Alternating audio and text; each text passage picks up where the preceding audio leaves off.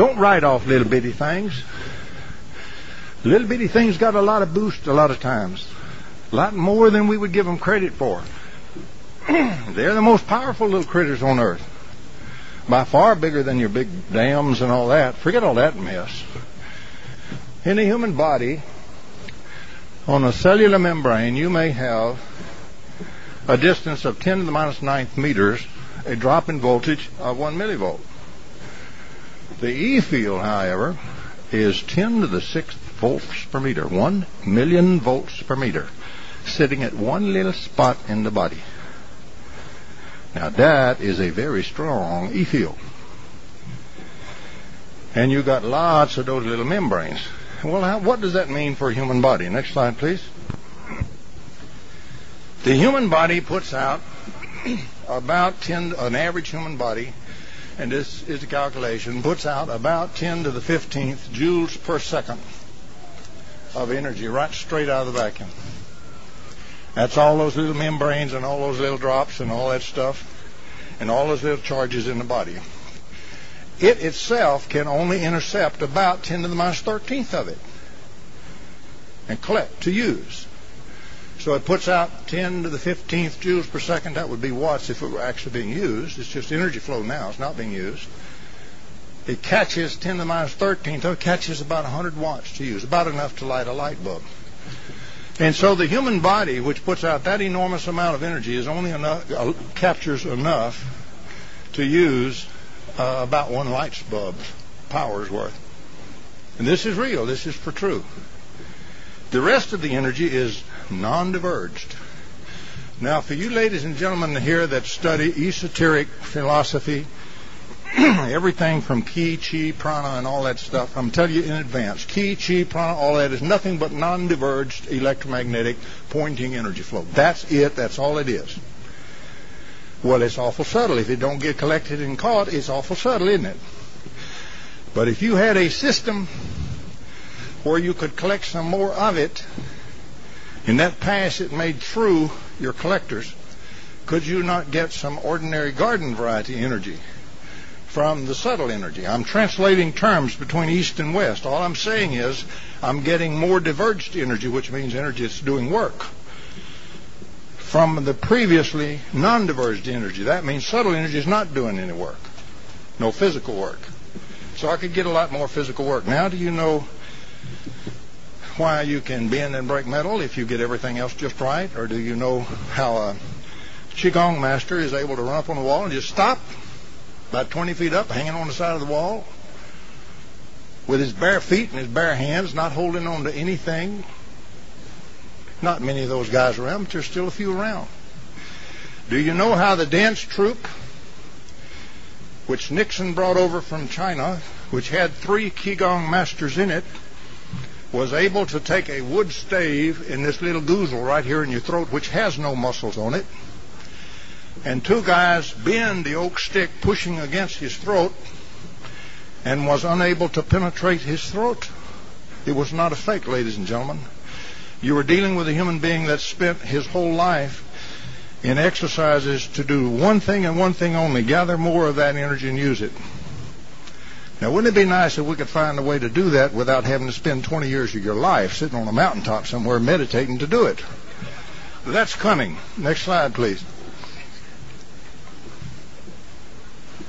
Here's the Whittaker paper that's been ignored.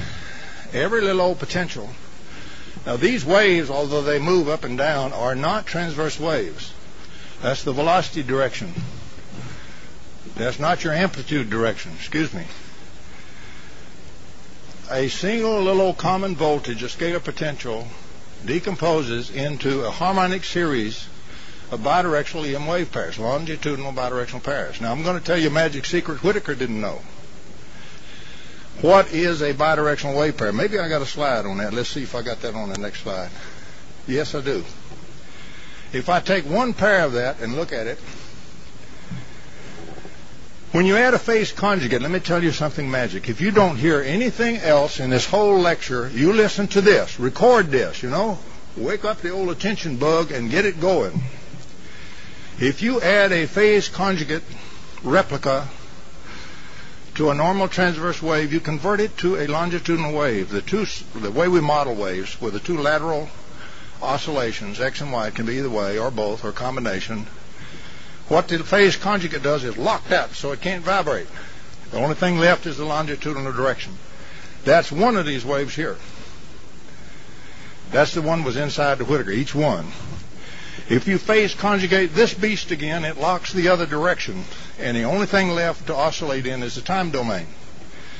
Now, the photon for this is known in quantum field theory. It's in Ryder quantum field theory.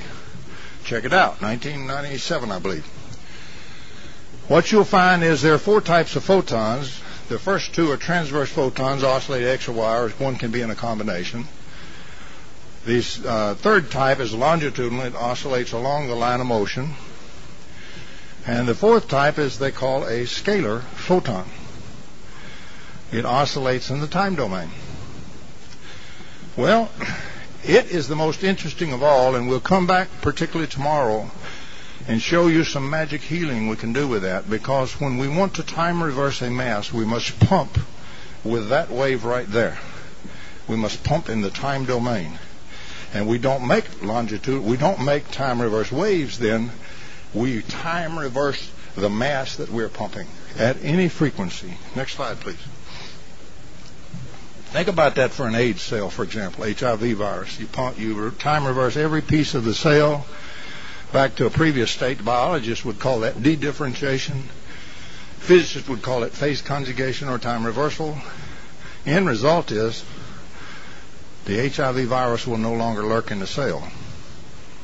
The real problem in HIV is the continuing infected cells that already have the virus's DNA in them, the genetic material. They become virus factories.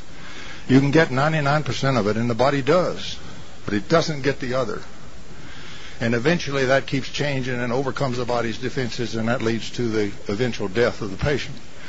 This way, by simply pumping the body with longitudinal waves, you can get every last bit of it out of there because you time reverse every cell, including all of those infected cells.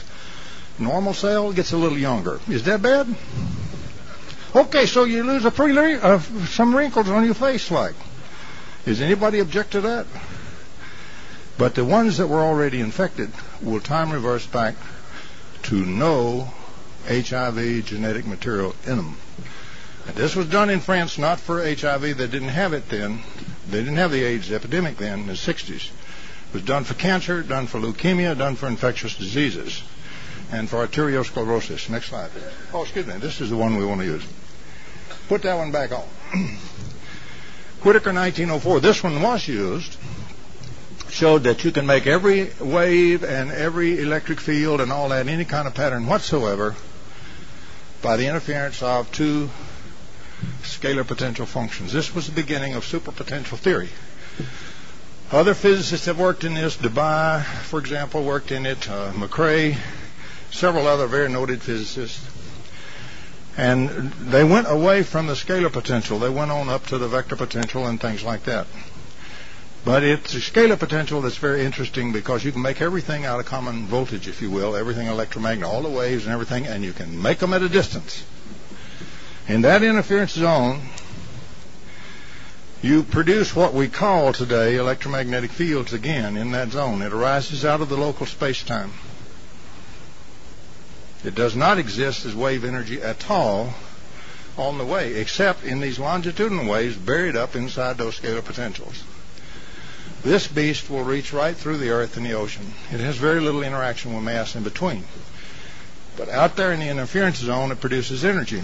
Now, if I bias my transmitter chassis positive, I will produce scattering energy out there, heat.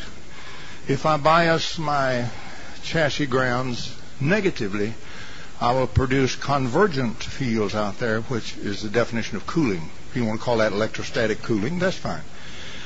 If I pulse this thing very powerfully in the negative biased region, I will produce a cold explosion at a great distance.